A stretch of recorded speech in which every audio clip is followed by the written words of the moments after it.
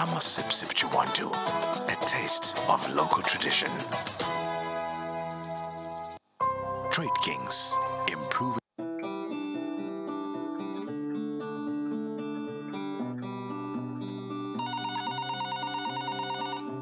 Hello, no one is available to take your call. Please leave a message after the tone. Ah, Mr. Temple, yeah, uh, I have the, the, the, the building material has come in, so we are just waiting for the money. Mr. Temple, I know you are there. Can you, can you can you just pick up? We Daniel, I've just got off the phone with ZNBS and I found out that they have amazing loans for the building materials that you wanted. So just head down to their offices and find out more. With ZNBS, you can now get a building materials loan at competitive interest rates. All you need to apply is a ZNBS salary account or a stop order account. For details, visit any of our branches. Call us on 0211 228146 or 230896 or email mortgage at znbs.co.zm. Or you can visit our website on www.znbs.co.zm. Like us on Facebook or follow us on Twitter. Terms and conditions apply. Zambia National Building Society. Shelter through savings.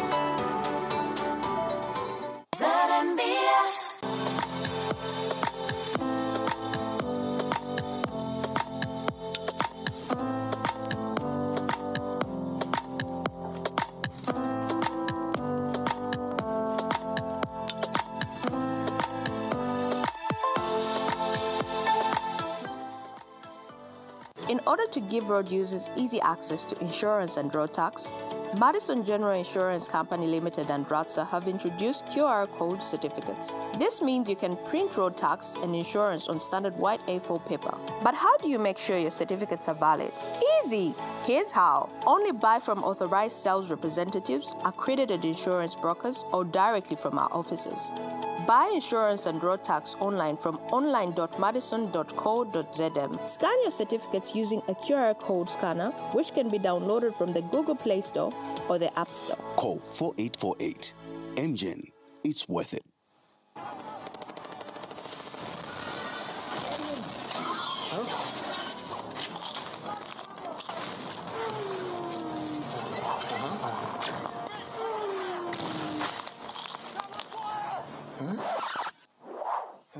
For the kind of entertainment that grabs all your attention, we got you with MTN Netflix bundles.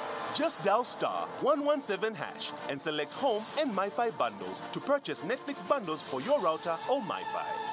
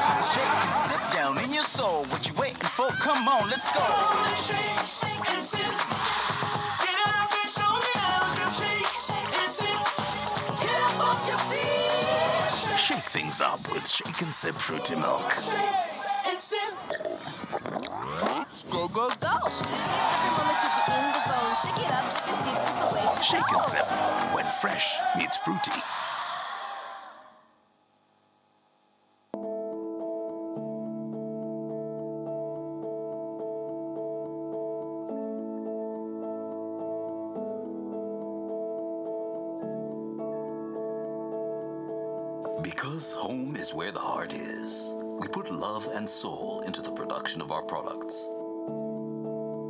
From earth to quality control, every ingredient and process carefully monitored to give you the best.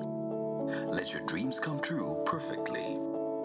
Marco Polo Tiles for a perfect finish.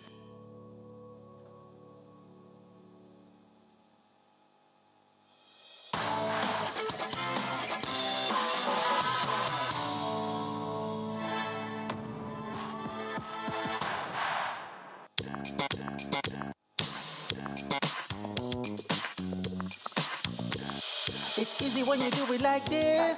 So fresh when you do it like that. More fun when you do it like this. But even better when you use It's aloha. clean when you do it like this. looks good when you do it like that. So much fun when you do it like this. But even better when you use aloha.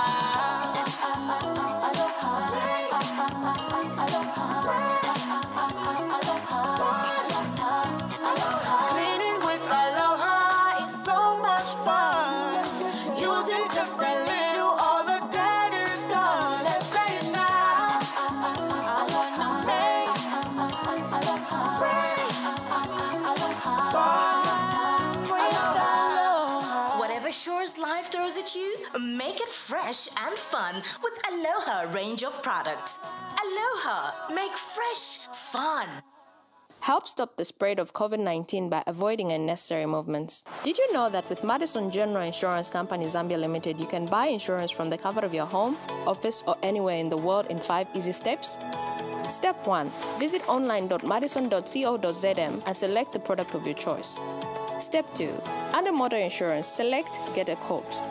Step 3 Enter vehicle details and validate your KYC with a one time password to proceed. Step 4 Make payment using mobile money, bank transfer, Visa, or MasterCard. Step 5 Print your certificate of insurance on standard white A4 paper. It's that easy. But wait, there's more. Thanks to MGen's integration with the RATSA online system on buying your insurance from MGen, your insurance details are instantly uploaded to the RATSA system, enabling you to buy road tax immediately. Madison General Insurance Company Zambia Limited, your award winning digital insurance provider. Avoid unnecessary movements. Buy insurance online. MGen, it's worth it.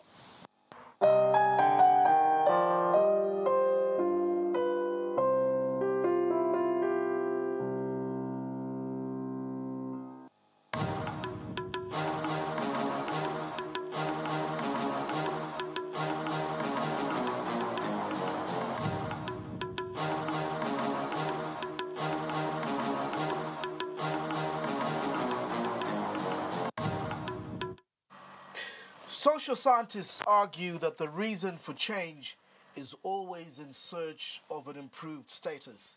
Therefore, Zambians removed the colonialists in 1964 in search of self rule in a democratic state in which UNIP provided for, seven, for 27 years, rather, until the MMD took over in 1991. After UNIP, three other political parties have held office in Zambia, with the latest being the UPND. Opposed to the Patriotic Front, who promised an infrastructure rollout and development, the UPND, in their campaign of 2021, campaigned for what they would call placing Zambians at the center of its hold on power. Last 10 months down the line, the welfare of Zambians appears anchored only on the waiting game. If the IMF does not gift Zambia the $1.4 billion, then the UPND will not have any spending power to uplift this welfare of its citizenry.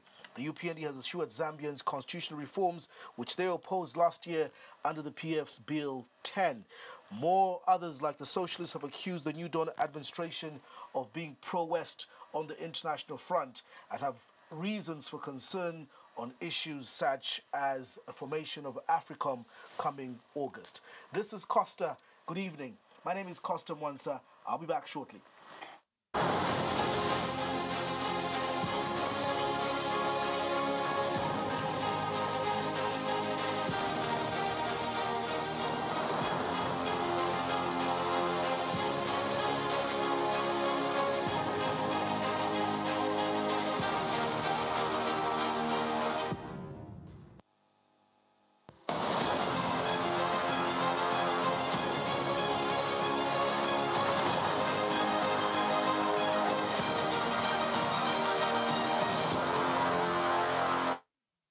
Welcome, just in case you're joining us live on DSTV 271. We're also live on GoTV, it's channel 99 and Topstar 110. You can also watch us on the go by downloading the Airtel TV app subscription free and watch through via also our Facebook page is Diamond TV Zambia on the live stream. My guest tonight is Socialist Party leader Comrade Fred M'Membe to discuss economic prospects for Zambia, which way you know forward. Uh, Comrade M'Membe, it's always a pleasure. Good evening and welcome. Thank you. Good evening. It's 10 months of the New Dawn administration. Let's get straight into it. During one of my interviews um, prior to the you know election of August, You described the Patriotic Front then as the ruling party and the UPND in opposition as Siamese twins. Is this still your opinion 10 months after the New Dawn in administration? I think I've been proved correct. When you look on the economic front, you look on the political front, the UPND is doing the same things the PF was doing. They are doing the same things they opposed. they opposed tribalism or regionalism in terms of appointments to the public uh, institutions. They talked about the high cost of living. They have perpetrated the same things. They talked about corruption. There's still corruption in this government. And at the rate we're going, they will dwarf the PF corruption at the end of their term of office. You make very strong, you know, allegations, Dr. M'Membe. Um, tribalism on the basis of appointments during every swearing in or every announcement. I think President Hichilema has been so clear that his is about putting Zambians with competence first and obviously trying to look at gender parity. What substantiation do you have yourself to not just have these as merely allegations, but prove evidence with facts tonight? You talk about tribalism, you talk about the UPND being more corrupt than the PF. That is scary, that is daunting. If you look at the appointments to the public sector, to government, to parastatals, a pattern has emerged. That is very clear. I can talk freely about these issues because it's difficult for anybody to accuse me of tribalism. My, my ethnicity composition clears me of that. My mother is from southern and western provinces. I have seven, seven ethnicities in western province and one in southern province. My father is from northern and Muchinga. I have two ethnicities there, Bemba and Bisa. No one can accuse me of being anti-southern, anti-western. No one can accuse me of being anti-northern, anti-Muchinga. And I can speak freely about these issues. If you look at the composition today of key state institutions, just take our judicial system. The Minister of Justice is from the same region. The Chief Justice is from the same region. The, the Attorney General is from the same region. The Solicitor General is from, from the same region. The Chairman of the Judicial Service Commission is from the same region. The Chairman of the Judicial Complaints Commission is from the same region. Are these not Zambians who are competent? It's not about competence, it's not what we were promised. I remember we had a similar situation under Mr. Chiluba. Mr. Chiluba was under pressure to appoint Justice Weupe as Chief Justice. Mr. Chiluba refused, said, I can't appoint Weupe as Chief Justice. The President is coming from Luapula. The Chief Justice is coming from Luapula. It can't happen. There was pressure to appoint Ephraim Chibwe as the Speaker of the National Assembly after the retirement of uh, Nabulyato. Chiluba refused. He said there's no way we can have the Speaker and the President from the same region. Are you telling me there are no other qualified people, competent people on merit from other areas? Probably this is one, you know, But also it goes example against. you've picked in the judiciary. I'm just giving an example because this is what they promised themselves. The president is still on record and he continues to say that the entire 10 provinces of this country shall be represented on the basis of one being qualified, competent, and being, you know, Zambian.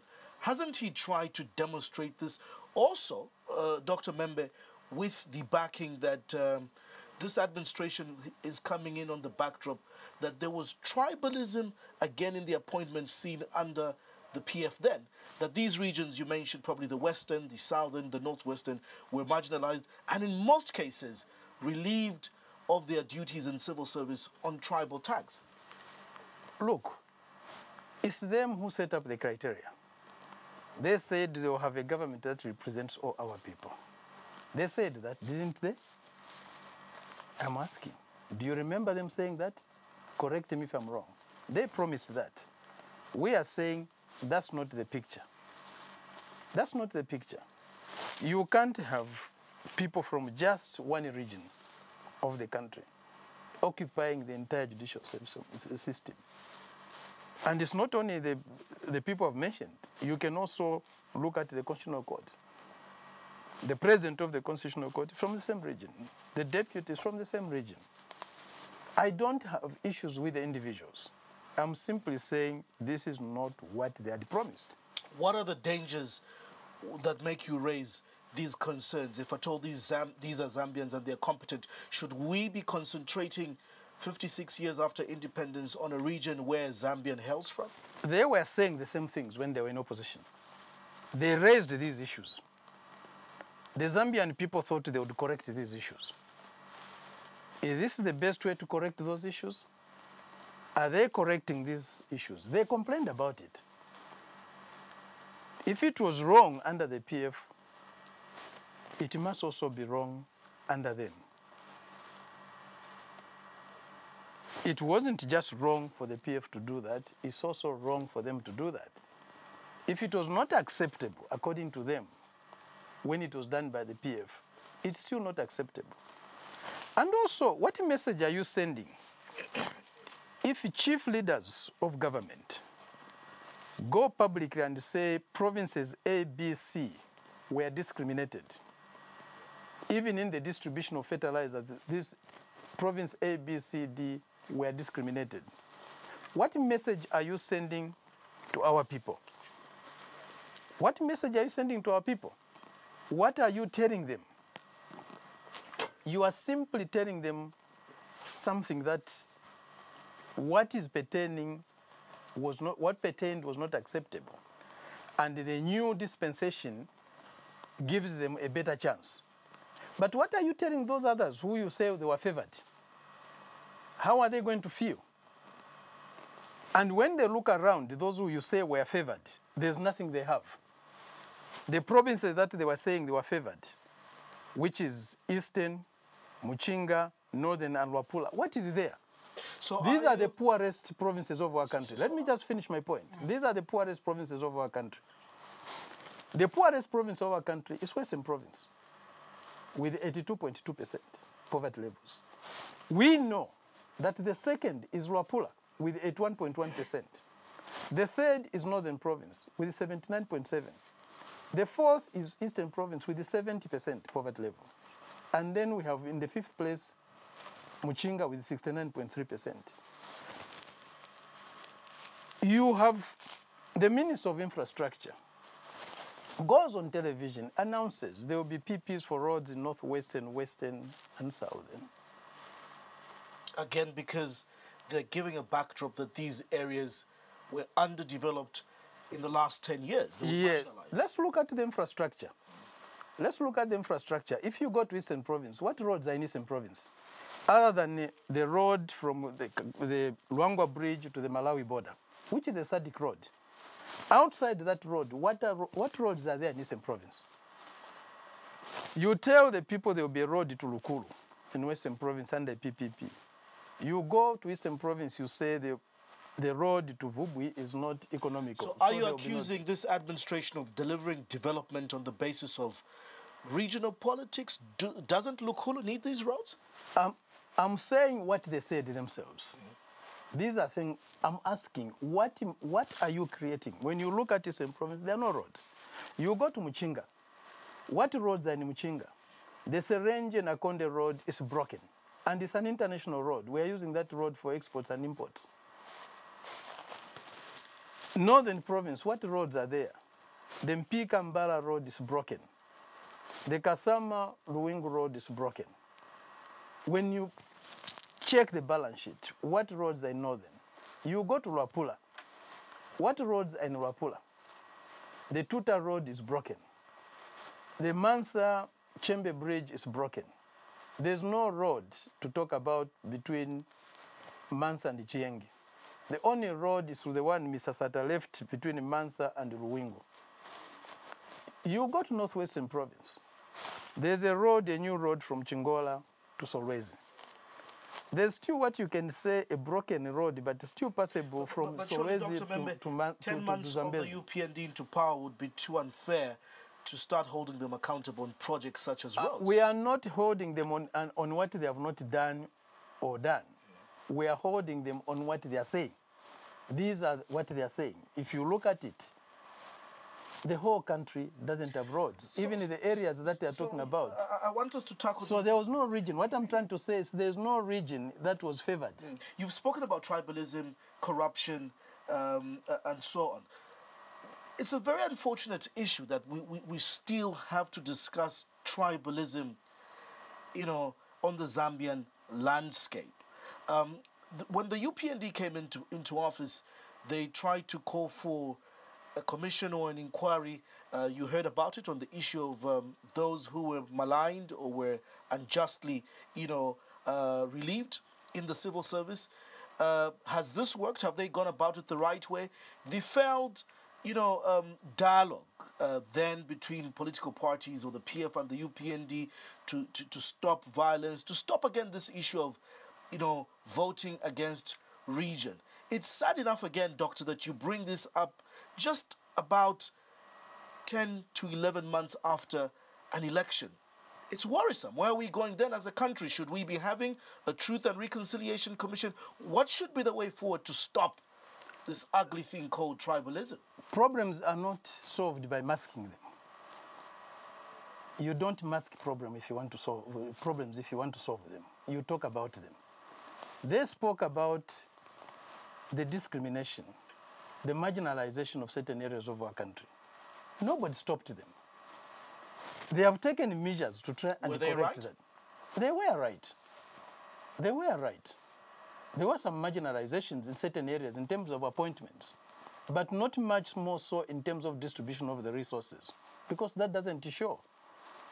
The statistics that are coming from government itself, from a government agency, don't show that. But in terms of appointments, yes. Lists used to fly around of how many permanent secretaries come from this region, that region. They used to circulate them themselves. It was okay.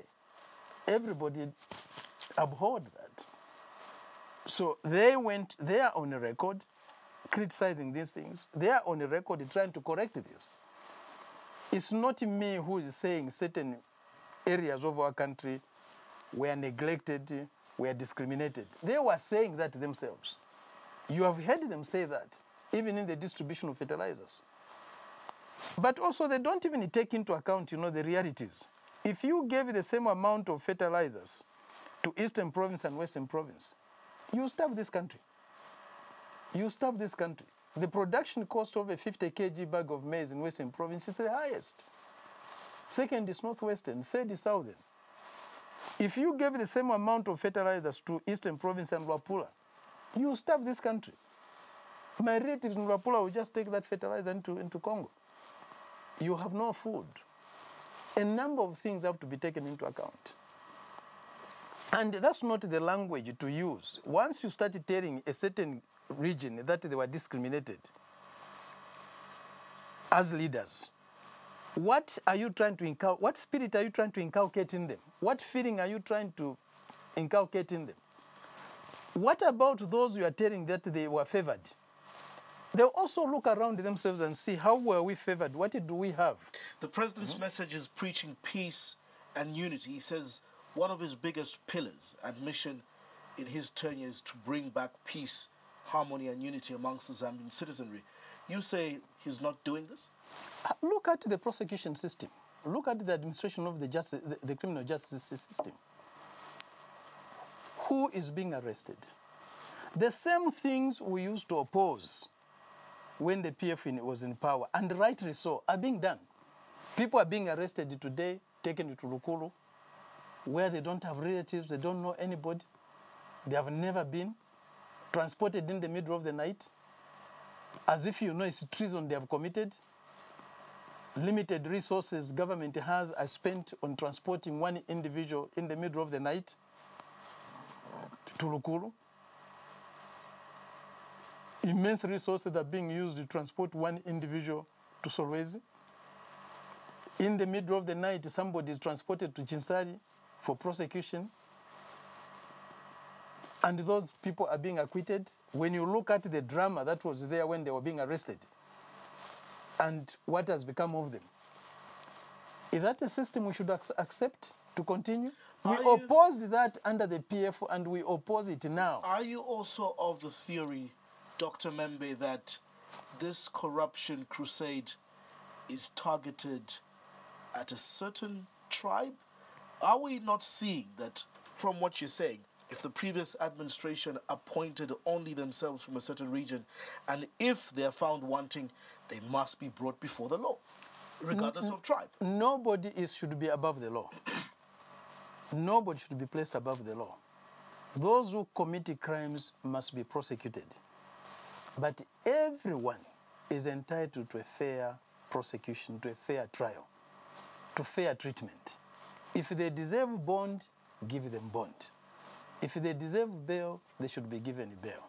And this is happening. If they deserve acquittal, let them be acquitted. And they should be tried before a court that they feel is impartial. When you started to create an image of a court that doesn't appear to be impartial, then you have a problem. You have a problem. I'm not saying no one should be. Talk about impartiality, uh, uh, really, and, and, and autonomy. Um, you've just mentioned here that despite some of these, you know, uh, prosecutions or some referring to them as persecutions, one being arrested, being taken to Lukulu, being taken to Solwezi, and so on, the judiciary seems to show its independence in that it offers or renders judgments that are not just in favor of the state, and in this particular case, you know, those that are in the administration. But we've seen another outcry on the uh, transfer of, of, of, of magistrates uh, into different places, and also the president, at the recommendation of the JCC, has relieved judges, among them people like Judge Sunday Nkonde, who yourself, you yourself complained against to the JCC. So, is this administration not doing what is right as far as judicial reforms and really doing what is necessary uh, to do? You have heard complaints from those who are in power today about the decisions coming from the courts. You have heard them complain. Their cadres have gone to court premises to complain. And their complaint has been addressed. Magistrates have been transferred out of Lusaka. I don't want to go into the details of where those magistrates come from. And Where they do they been- come from, according to your theory? But I had Justice Minister here last week, and uh, his response is that there's nothing sinister because every administration that comes in, or the hallmark of any change in, in, in administration, people are shuffled. They're not being fired. You know, why are people not complaining that these transfers or shuffles are happening in other ministries or sectors? Town clerks, PSs. Why, why is there no complaint? You have party cadres of the ruling party go to the court premises and demand that changes be made to the adjudicators. And those changes follow. If you were before those courts, how would you feel? You are arraigned and presented before those courts. How would you feel? Would you feel secure? Would you feel you're going before an impartial court? You would be worried. And those who are going before those courts are worried. So are you saying, based on my question, in that you are one of the people who has complained, for example, against certain members of the judiciary, uh, among them Judge Nkonde, who's now been relieved? Is this not the justice you were asking for? Are, are you saying now that the judiciary is impartial because of regionalism? I've not accused any judge of being impartial. All what I'm saying is the configuration of our institutions, the staffing of our institutions, is not representing what our leaders were promising in terms of regionalism. They promised that. Tell me if they didn't. Tell me if they didn't. We are simply saying you promised this is not what you are delivering. You, you, you've also this evening made, again, what I call very strong allegations. How, Dr. M'Membe, are you able to predict that the UPND, after five years or so, will come out more corrupt or will dwarf the corruption of the PF? You yourself and others accuse the PF of really being one of the most corrupt, if not the most corrupt administration that this country has ever experienced. Yes, they were. At that particular point, from the time we gained our independence to the time they left power, the PF government was the most corrupt of all the governments we have had. So 10 months down the line, you can accuse the UPND of being more corrupt? Look, the system that the UPND is using is not different from that of the PF. Corruption is going to deepen. Corruption has been deepening in this country. It hasn't been reducing. From the mid 80s, when the, the, U, the UNIP got into the structural adjustment program, started, on a, started to embark on a neoliberal path, corruption has been deepening. It hasn't been reducing. Even with the intensified under the Mwanawasa government, corruption did not go. It has been growing and growing and growing. And all the signs that the UPND has fallen into that trap are there. Make, what have they changed? Make, me understand in, in how, terms of institutions. How, how what can, have they changed? How you can predict this, um, especially that probably they are the first administration to try and fully decentralize development to trickle down with their CDF and how they're executing that, so that we avoid these bureaucracies Look, in it's still whatever they are doing is still under the neoliberal economic policies that were pursued by the previous regimes. And these, these are even deepening that. And with the deepening of neoliberal economic policies, corruption is also going to deepen. Do we see the them, system do, is do, we, do we see the them system, inflating prices the, the on, system, on, contracts, awarding cadres contracts? The system is inherently corrupt. The system is inherently corrupt. Mark my words. I'm not maligning anybody. I'm simply saying the system that they have embarked on, that they are using, that they have not changed, will produce nothing but corruption. They have not changed. th- There are no institutional changes. Reshuffling individuals does not change the system.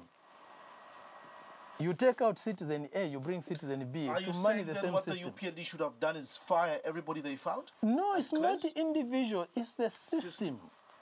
The economic system, the political system, the social system has not been altered. There's nothing that has changed. There are no institutional reforms. So what is wrong with our current? Tell me, what institutional wh- wh- reforms? wh- wh- what is wrong with our current, you know, uh, uh, procurement systems when? Uh, obviously, there are reforms within the, the Procurement Act.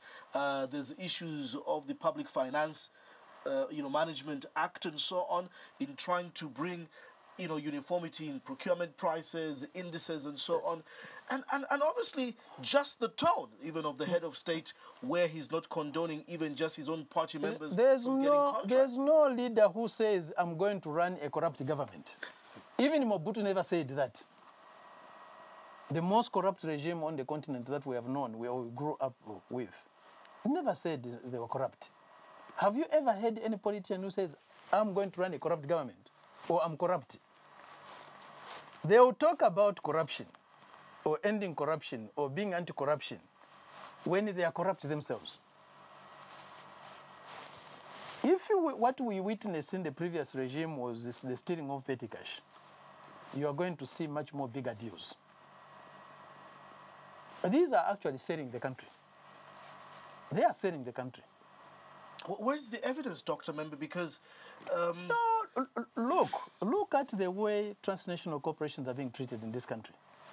The same bandits who robbed us of our sovereignty, who robbed us of our dignity, who humiliated us, are back. Anglo is back in this country. Anglo is the successor of BSA, which colonized us, which killed our people. for the same minerals. Look at the way they were dealing, they're dealing with them. Today, we have uh, people from State House being part of the Anglo, the, the Anglo uh, Foundation, the Brenthurst Foundation, going to monitor elections in Kenya. People from State House, they are going on a delegation of Anglo to monitor elections in Kenya. How? Well, Pr- President Hichilema, first of all, Dr. M'Membe has never denied, especially when he went for the Greg Mills you know, book launch, that even before he was president, he was a member of the Brenthurst and he was friends to these people. What is the history of Anglo in this country? They, they run they run mines, but my question then, you know, Dr. M'Membe is, at this level of geopolitical dynamics across, you know, the world, no country can exist in isolation. Uh, obviously, you need to return your sovereignty, but you need multi and bilateral. There's a difference you know, between relations. cooperating with others If- if and just being puppets of others. question, what is wrong if the UPND, who are capitalist in nature, or liberal uh, capitalists, as you call them, different from your ideology of socialism, what is wrong with them asking partnerships and FDI with Americans, uh, the Anglo Americans, and, and, others? The same way you get partnerships with Venezuela, Chile, you know, uh, uh, uh, and other socialist, you know, movements. What, what is wrong when you do that, or what is right, and what is why is it wrong when the UPND do that? There's a difference between cooperation and being puppets. Don't forget, we were first colonized by a mining company. Don't forget that. We were first colonized by a mining company in 1891. We were first colonized by a private investor, a foreign investor, in 1891. Cecil John Rhodes, and his company, the BSA, which was later taken over by Anglo and Oppenheimer. Continued with the same policies. For 33 years, we were under direct company rule. For 33 years, from 1891 to 1924. And also, this BSA, this Cecil Rhodes, killed our people. They killed more than 10,000 Ngonis. They killed the Prince, Prince Nsingu, the commander of the Ngoni warriors. They killed the old man Mpezeni. They stole over 10,000, 750,000 animals. There's no compensation to the Ngonis. Nobody's talking about that. The same companies, Anglo, look at the destruction on the copper belt. They have destroyed the lives of our Lamba people. No compensation. Today, the Lambas don't have their land. Their rivers, their streams have been polluted. Their culture is destroyed. No reparations. What benefit did Anglo give in all these years it has been mining on the copper belt? What did it give to our Lamba people other than the destruction of their lives? Look at the destruction of the lives of the Lenje people, the Soli people, and their cultures. What compensation have they been given? If Anglo had conducted itself well, would we be where we are today? What policies did Anglo support all this time? all- With, all with respect years? to the historical background, And that- thus, you know, somebody, only a puppet can become. with respect to the historical background bed, that you know, give, with, with you know, Doc, this government is going. tonight, let's now talk about your allegations of now. Where is the proof that the new Dawn administration is auctioning, you know, this country? Because it's only ten months. The problems happening at Mopani uh, with Glencore were left, you know, by the PF. You have an arbitration issue at KCM with Vedanta, with you know the former liquidator. Um, the UPND have found you know, Lumwana, uh, they found Kansanshi, they found Kalumbila in the hands of First Quantum. So, uh, where are these claims coming from that they've auctioned the country, really? We have Africom. All the successful government have refused to have Africom here. What is Africom coming for? Why are the Americans opening an office here? And we know from the experience of Ghana that there's no difference between an office and a base. Since when did the Americans protect our sovereignty? Since when did they protect our interests? What are they coming for here? Who is bringing them here? Can an anti imperialist regime do what they're doing? We are a laughing stock on the continent today. We are is, quickly drifting into a banana republic. The, the, the, these allegations are, are, are They are coming not out too, they are too- not too allegations, they are facts. The, the, the issues of AFRICOM, as an example, um, it's been established that this similar type of operation or office is not only similar or unique to Zambia or Ghana. They've got about over 34 plus, you know, operations in regions where they're trying to beef up, you know, global, you know, security based on on, on UN recommendations. security where Africa, no where UN Africa, resolution where that Africa is still saying we need to be part of the Comrade Security Costa, Council. Comrade Costa, there's no UN resolution establishing AFRICOM. Hmm. Today, if you, you, you, you read, there's a bill in Congress that is being debated to ensure that you know our sovereignty is taken away. We cannot decide on how we deal with Russia. They will penalize you for dealing with Russia. They are setting laws that go beyond the borders of their country. Who has given which UN resolution has given them that mandate? You, Well, apart- AFRICOM apart- is not is not a UN Uh, apart- agency. uh, It's no, an uh, American entity. As I, I said, as a matter of strengthening, you know, global security. But for, What for, for the global for the security- U.S. what for the U.S. security? Threatening for that the security? U.S. to It's set up for the U.S. to set up that. Obviously, there are bilateral MOUs, just like in Ghana and, and, and, and anywhere else. So they don't put a gun to anybody's sovereignty and say, sign this, do they? We accept to sign it. Why do you see it as a danger? Y- Russia, yes, Russia is yes, setting up the- the- bases the- elsewhere. Uh, France uh, what is setting up bases in Mali. Is why hasn't that been questioned? what happened to France in Mali? Mm. Why hasn't that been questioned? What happened we are the what- same what Africans. happened to France in we are the same Africans, Dr. M'Membe, that are buying arms or complain to say the U.S. is not intervening in Boko Haram in Nigeria. Just recently, Nigeria signed over uh, a 10 you know, million dollar arms deal with the U.S. What has happened to the French troops in, in Mm. Mali? Are you aware? They have been kicked out. Why did the AU refuse this AFRICOM deal? Why did the SADC refuse this AFRICOM deal? Why are many countries on this continent that are dignified, that believe in their sovereignty, refusing this, opposing this? When did the Americans protect our sovereignty? We fought for our liberation. From who? Where were the Americans? They were on the side of apartheid. They were on the side of the minority white regimes in, in Rhodesia.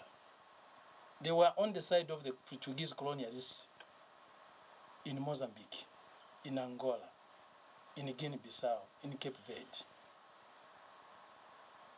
Today, the Americans have become the protectors of our sovereignty. Today, the Americans have become our liberators.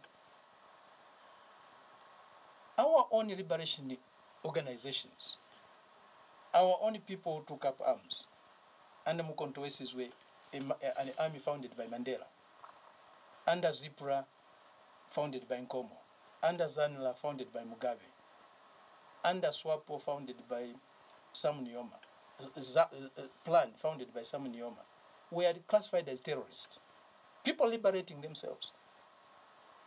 People liberating themselves. They even forget that the American independence also they, was achieved with firearms. But, but, but presently, of course, we know we are not at war. And for a long time, uh, you know, post independence, there's been all this spy and multilateral, you know, foreign relations at, at, at many levels. Comrade Costa, just allow me to not ju- ju- deceive ju- ourselves. just allow me to, to, to ask, what is your grave concern, especially for a Zambian watching right now who has other issues of putting food on the table? Why are you so concerned about this AFRICOM issue when we get antiretroviral drug support from you know, PEPFAR through the United States government. We do joint military, you know, uh, assistance on so many projects with the US. We don't have problems with this. We get education support. We get grant-aided support. So in a way, nearly, they give us aid and we don't have a problem with it. Make the Zambian understand why you have grave concerns and the repercussions of this AFRICOM that you're talking about. How does it affect me as an ordinary citizen? Look at what they did to Congo. Look at what they did in Congo. What look at what they did to the Congolese people. Who killed Patrice Lumumba? Who killed Patrice Lumumba? They killed Patrice Lumumba. Look at what the destruction of Libya. Who killed Gaddafi? They killed Gaddafi. Look at Ghana. Who toppled Nkrumah? They toppled Nkrumah. Who killed Amilcar Cabral? They killed Amilcar Cabral. We can also say they killed Samora. Wherever they have been, is there peace? The entire NATO for 20 years they were in Afghanistan. Have they brought peace to Afghanistan? The USA and NATO were in Afghanistan for 20 years. They have run away from that country completely ruined. They went into Iraq, lying to the whole world that there were mass, uh, weapons of mass destruction in Iraq, in Iraq, which were not there. It was a lie to invade Iraq. What is Iraq today? Is there peace in Iraq? Is there stability in Iraq today? They have invaded Syria.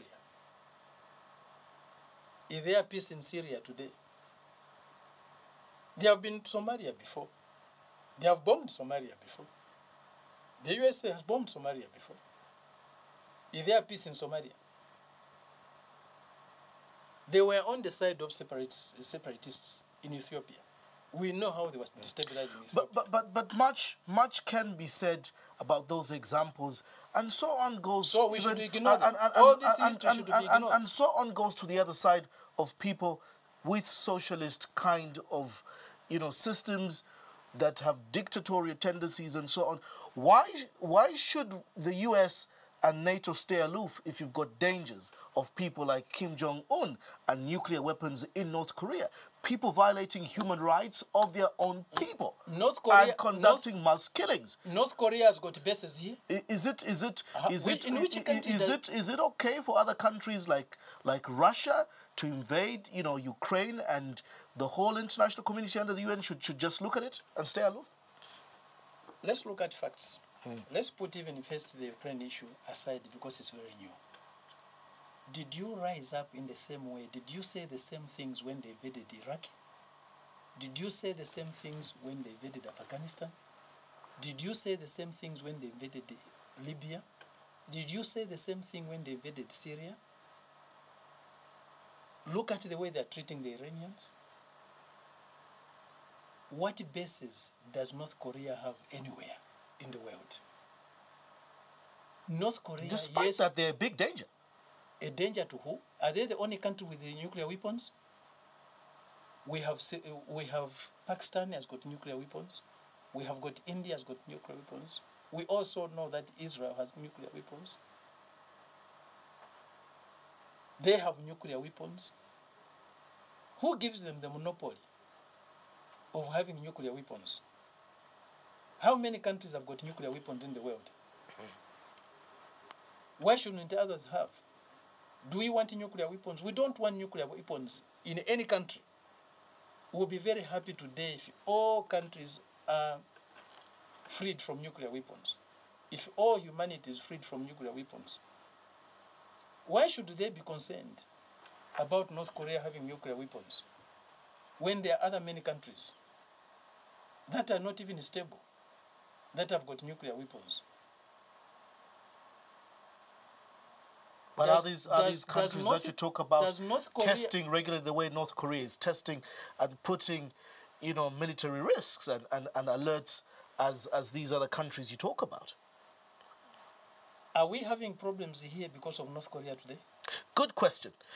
If, if, if that is your answer on No, are we having problems? you. It's not an answer, it's a question. Yeah, so, so, so my question then, Dr. M'Membe, would be for a Zambian out there who's concerned about the cost, you know, of petrol and diesel, a Zambian out there who's concerned about the food basket, um, wh- why should Africa, why should Zambia be caring about? Can, uh, j- just hold, let me finish. Why should the Zambians right now be concerned about an AFRICOM debate, about a pro-Western investment debate, or even about a gay or lesbian right allegation? Because what they're looking for is food on the table. How will these things change their welfare tomorrow?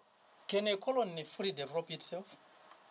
Can people who are, whose sovereignty is not there fully develop themselves? Hmm. Do we need independence? Do we need to be independent? Why did our forefathers fight for the independence of this territory? Why did our Angoni ancestors resist the capitalist penetration, the taking over for their land, their minerals? Why did they resist? Why did those, those 10,000 Angonis die? Why did the Commander Singu die? Why did the old man in peasant die? Why did all these people who fought for our liberation die? Is independence not worth it? Why do we celebrate it every 24th of October if it's not that important? Why did people pick up arms and die to liberate their, their, their, their, territories, to liberate their homelands, if it's not important to defend that sovereignty? Can a colony really develop? Can you have meaningful democracy in a country that is controlled by another country? To have democracy, to have development, you need to be independent. A country that is sub- subordinate to another country cannot be democratic, cannot have meaningful development. Just for the sake of time and moving to other, you know, critical areas, why should this AFRICOM discussion be be tabled? Why is it important? Don't we have other, you know, critical domestic matters to, to, to look at? we should do, ignore it. Let them come and do what they want in this country. Until when the side effects of it, the negative effects of it arise, is when we should stand up. For now, let's leave it. It's okay. We shouldn't talk about it. How should we approach it? No, I'm asking. You, you said, why should we worry about it? So, if we shouldn't worry about it, it means we should not talk about it. It's not an issue. They can come and do whatever they want, set up whatever they want. Until when there are problems is when we should talk about it. For now, there are no problems. We have no right, we have no duty to foresee what certain policies will lead to. How should Zambia be approaching this matter? We don't want those bases here. Zambians should put pressure on their government to ensure that the Americans do not have the military presence they want to have in our country. In we the don't same in the same vein, we can cooperate with them the way they cooperate. You- you make it Look, very clear that you don't want let- it. Let, let me tell you, we were threatened before. Our national sovereignty was threatened badly in the late uh, 70s by the White Rhodesian forces and the South African apartheid regime. We were being bombed here. We went, Kaunda went to the Americans. Grey Zulu was the Secretary of Defense at the time, also, and, and later the number two, tried to secure arms from the Americans, from the British, to defend ourselves from the White Rhodesians. They refused. In the same, no, let me yeah. finish this point. It's important. Mm. The, the UNIP government approached the, the Russians to sell them. They were not seeking assistance, they were seeking just purchase of jets and so on. They approached the Russians. The Russians did not give them. The only people who came to our aid with MiG 21s were the Chinese. They gave us a squadron of MiG 21s to just help us repel the White Rhodesians who were bombing here at will. And those MiG 21s are still here. They also gave us some tanks. These were the Chinese who gave us. We did not pay for them, they gave us. China of that time was not the China of today with immense resources. They sacrificed to give us that, to defend ourselves. The people who are coming to defend our sovereignty today refuse to help us.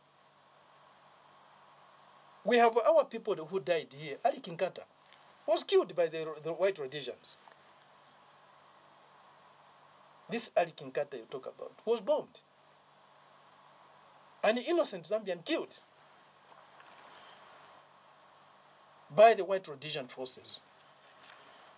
Like I said, in, Where, in, in, in a sim- where in- these people in- who have come today. In a similar manner, know, Dr. M'Membes, we come to today's issues, I appreciate you give a historical perspective. Is it priority right now, with all the economic hardships and the domestic issues affecting us? Should these issues, you've answered to say outrightly we need to oppose AFRICOM. You've heard in the in the recent past, uh, I think two to three weeks, it had to take the president at a funeral in a church, and this debate has surged on. The vice president last week fried on the floor of parliament. Again, I ask this issue of gay rights, why is it becoming an issue of prominence within the global sphere, this issue of flags in Zambia and so on? What is your take on this as a socialist movement? They bring their agendas to us. They bring their problems to us. They have got problems with Russia. We should be involved in that. Who are these? The same people you are talking about who are flying flags. They have problems with China. They bring us into that. They have their agendas of gay issues and so forth. We should be part of that. Their problems, their issues should be our problems, should be our issues. Our problems are not their problems. Our challenges are not their challenges. Our issues are not their issues. This is the, these are is- their issues. If they have got problems with Russia, leave, let them leave us out. If they have got problems with China, it's not our problem with China. If they have got issues with the gay rights and so on, those are not our issues. And they should not drag us into those issues.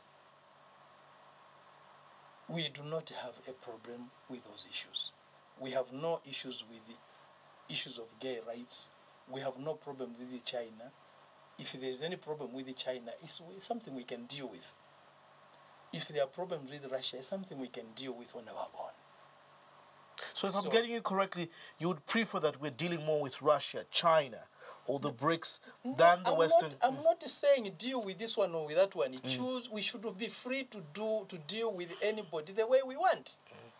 We are a sovereign country. We're supposed to be a sovereign country. Let's choose our own friends. It's not the Americans or anybody to choose our friends. It's not the right of the Russians, the Chinese, or the Americans to choose our friends for us. We are a nation. We are a people. We choose our own friends. It's like me telling you to, to choosing friends for you. Mm. Is that right? Mm. Even your father or your mother cannot even choose your friends for you. Why should the Americans come and choose our friends for us? And tell us if we deal with Russia, these are the punitive measures. This mentality should change. These friends of ours, these brothers and sisters of ours, need to respect us also. We are people also. We have a sense of dignity also. very, very clear on that. For the sake of time, I want to move to economic issues surrounding debt and the budget. Um, the Ministry of Finance has already started uh, calling in for submissions from stakeholders such as yourselves as a party. We still have the 1.4 billion, you know, dollar, you know, uh, uh, uh, bailout package with the IMF still somewhere hanging, you know, uh, in the corners. Um, I think uh, in the last two months, what excites this administration is coming out of you know Cape Town and the mining Indaba pronouncements by First Quantum Minerals that they'll invest in the expansion projects to those tunes of about 500 million dollars in the nickel plant and also their their future towards electric motor vehicles. Are you seeing this economy slowly beginning to get back, you know, on on on its wheels? And I'd also like to get your views, both as an economist but also as a journalist th- there's this debate surging of you have fuel prices and, and, and every economic fundamental in the red, but inflation is coming down. And nobody seems to be explaining this properly. Let's start from where you started. Yeah. The mining Indaba mm. in Cape Town. Mm. Who organizes that Indaba? Do you know the organizers of that in Indaba? I'm asking.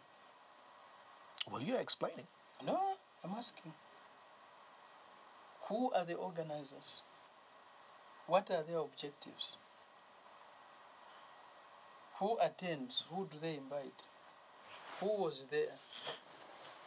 What was the objective?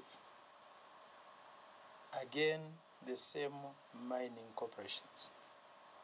The same mining corporations. For the benefit of who?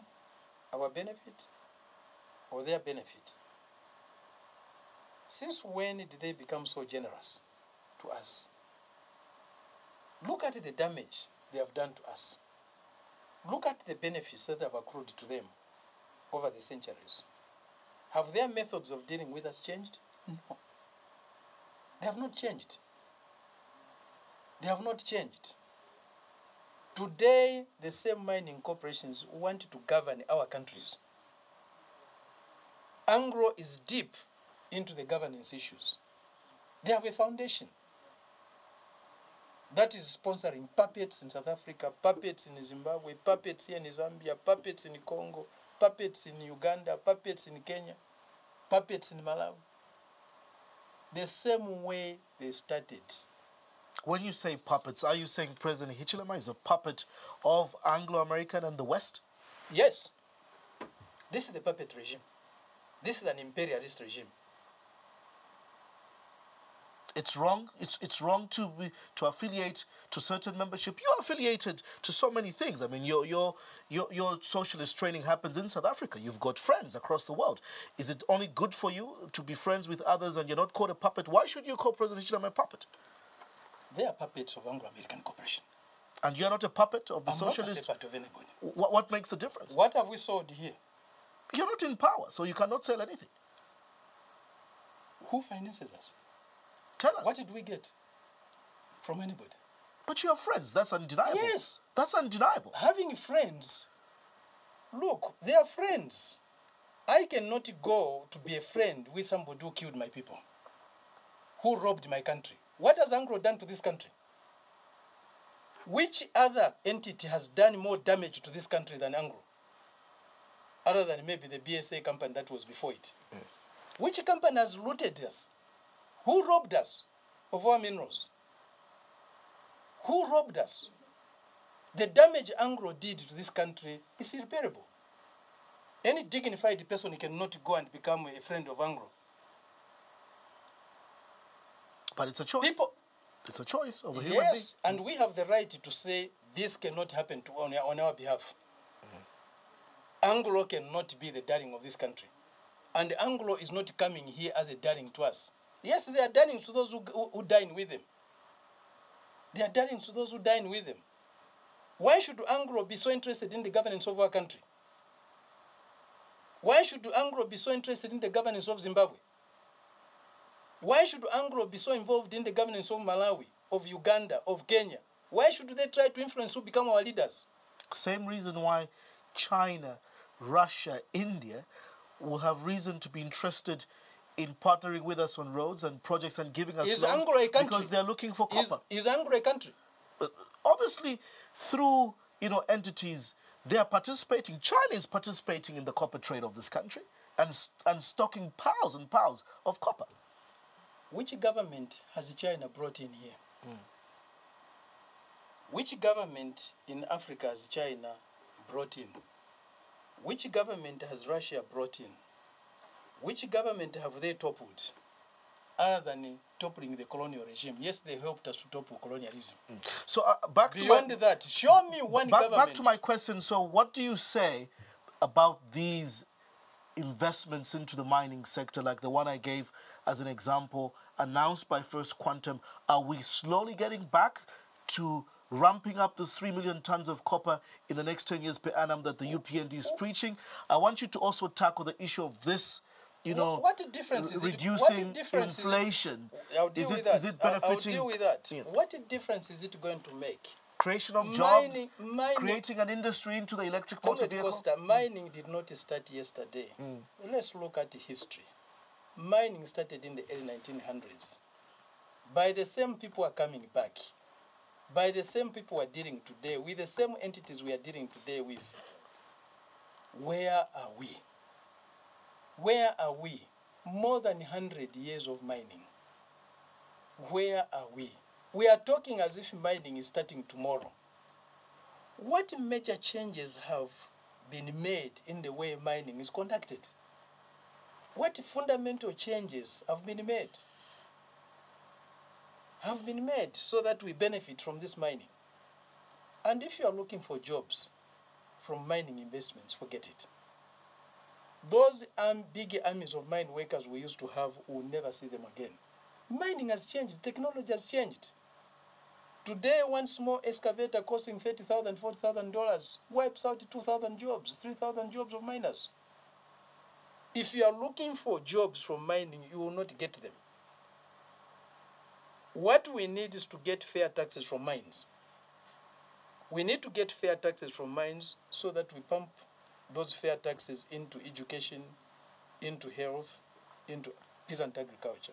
Isn't it good news that when we look at the future, uh, I saw you talk about this in one interview the, the, the future of electric motor vehicles, the fact that we have got most copper and cobalt in the world, that FQM is expanding their you know production capacity to, to exactly do that for Zambia, create What- industry. what we are signing MOUs with Congo and Zambia What for us to position ourselves to supply those What, batteries. what are we going to get out of this? Show me the deals that have been struck.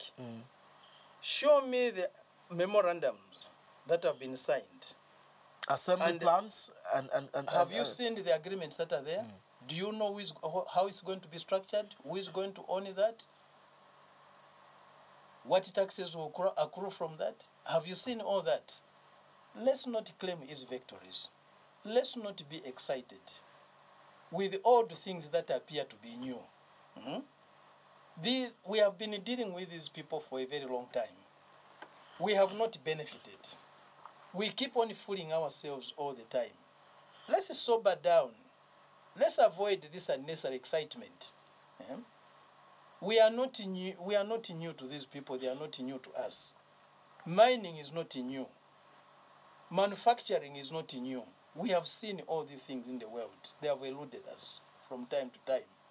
Let's sober down. Let's not mask difficulties. These people are not coming for us, they are coming for themselves. We are in a weak negotiating position all the time. How strong are we? What have we agreed? Let's be clear about things. In life, it's important to be clear about things. What is on the table? You are talking about electric batteries or whatever, cars and so forth. You have not seen even any deal, any plan of that. And this is the problem, you know, of getting excited with just even an idea. You started to run it as if something But surely, materialized. should we not, as a country, be taking advantage of this Let's- anticipated let's boom? look, let's look at what the, they the current the state table. of the mines, Dr. M'Membe. there's no production at KCM, there's no proper production at Mopani. Shouldn't we be going into that direction? The people of the Copper Belt need a lifeline. We are not saying there should be no investment in the mines. What we are saying is Except it shouldn't be Anglo. No, I'm not saying there shouldn't be Anglo. Let's look at every deal that is there. Put everything on the table for people to see for themselves, to analyze things for themselves, and come to their conclusions. For the sake Even of- you, mm. a very well informed journalist, what do you know about these investments on the copper belt? I'm in politics. What do I know about the investments? What have they disclosed to us? What have they disclosed to you? Maybe you're an investigative journalist. Tell us what you have dug out. Show us what is there for us to get excited. We have been on this path for a long time. This is not the first government to promise so much investment. Over the last 30 years plus, we have been on this path. The Chiluba regime was there, privatizing, inviting foreign investment, and so on. Where are we? I want us to end on the issue of this budget call for the 2023, you know, budget cycle. You have a very robust, you know, think tank mechanism that always releases these economic papers, you know, under the socialist, you know, economic arm.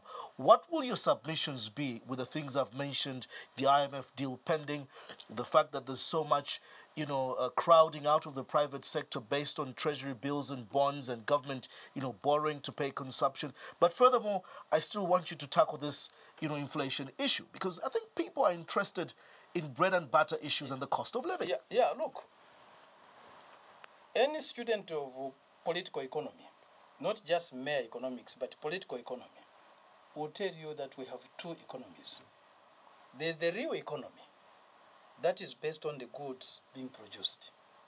There's the, what we may call, for lack of a better word, an artificial economy that just deals with exchanging promises and you make money. Today, you can incorporate a company saying there's uranium found in Chongwe. And uh, that company starts to sell shares because they believe, you know, the grade of uranium is very high in Chongwe that you have found. You list that on the stock exchange, you started to make money. People, it may take 10 years to actualize that project, but shares are being exchanged. No production at all. Then later on in the ninth or eighth year, they realized actually the grade, the grade of the uh, uranium we're talking about in Chongwe is of very low quality. So that project will not take place. You had all this economy that was created, all these businesses, so people have made money from the artificial economy. What you are seeing with the figures of inflation being bandied around is not coming from the production of goods and the services being traded. It's coming from simply playing around with monetary issues. The money supply, you reduce it, and so on.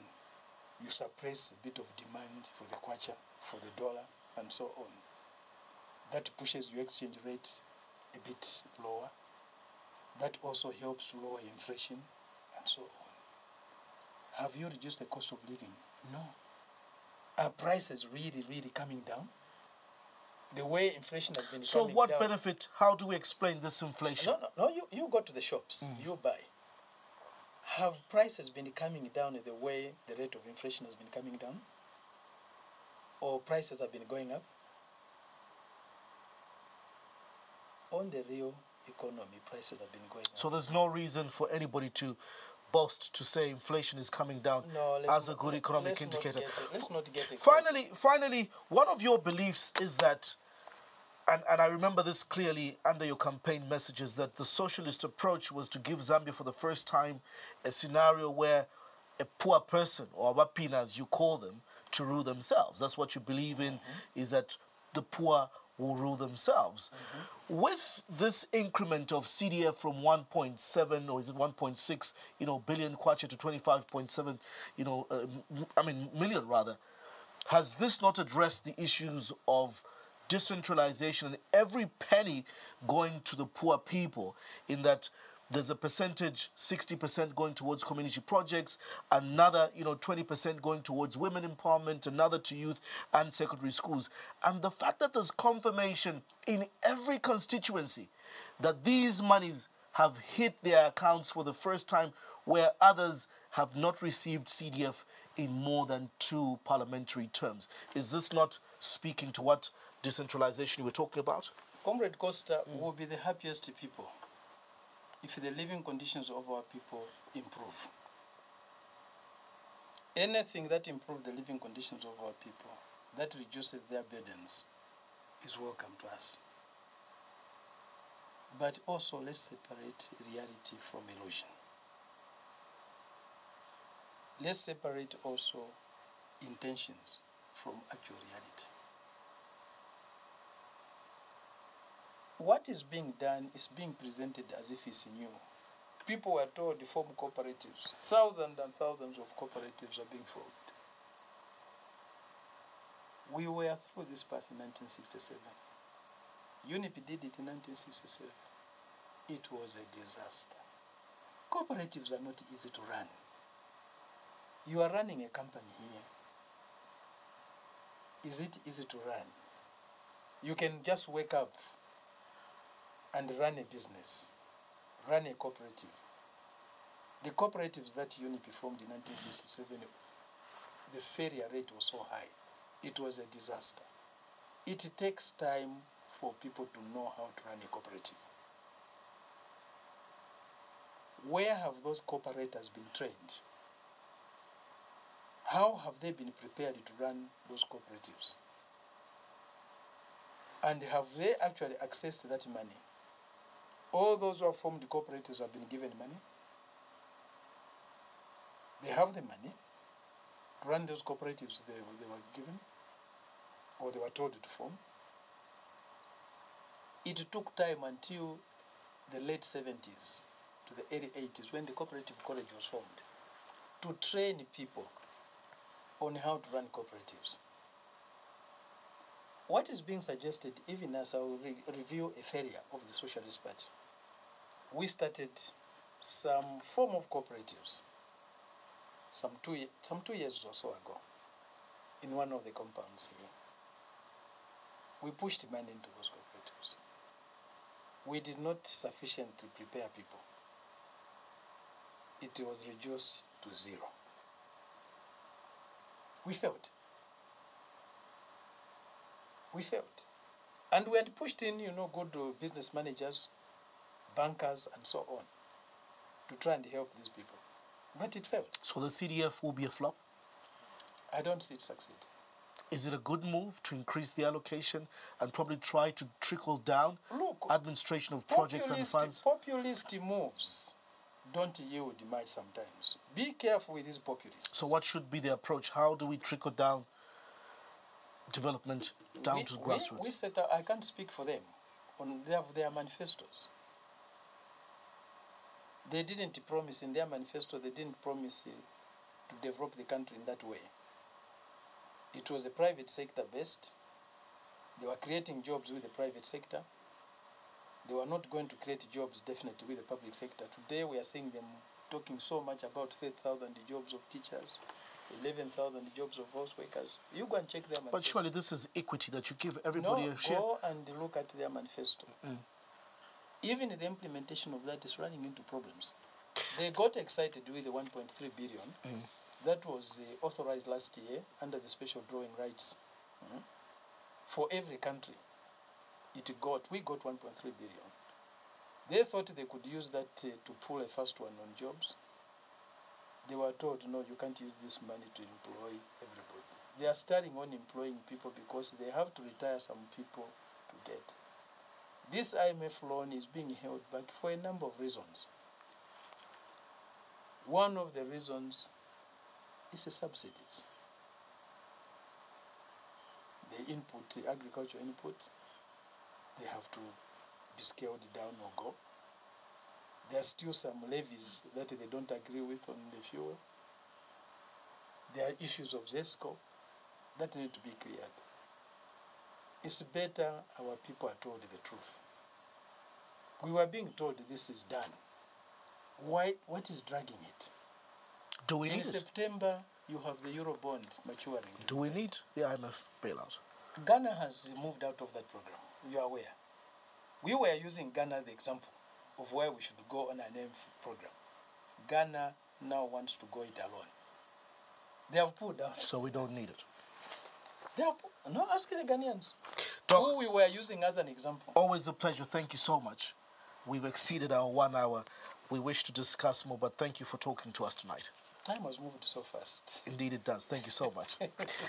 this has been tonight's edition of Costa. My guest has been the Socialist Party leader, and Dr. Fred M'Membe. We're discussing a number of issues, Zambia's economic prospects, which way, also uh, a few, you know, international, you know, foreign relations issues, AFRICOM, NATO, and of course the Russia, you know, Ukraine war. Remember to catch this episode in case you missed it exclusively on our YouTube page, Diamond TV Zambia. Subscribe to like you know the page or to follow and also click the bell icon to receive notifications of such you know programs good night and have a productive week